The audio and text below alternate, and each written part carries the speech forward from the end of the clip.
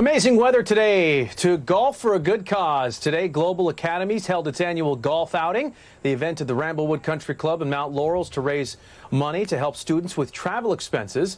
The charter school CEO says it's important for students to travel to places they may normally not be able to in order to close the achievement gap.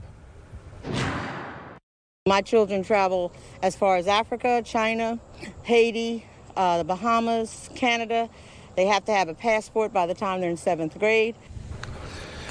Global Academies is the only public school in the U.S. where elementary and middle school students can travel the world. Hmm.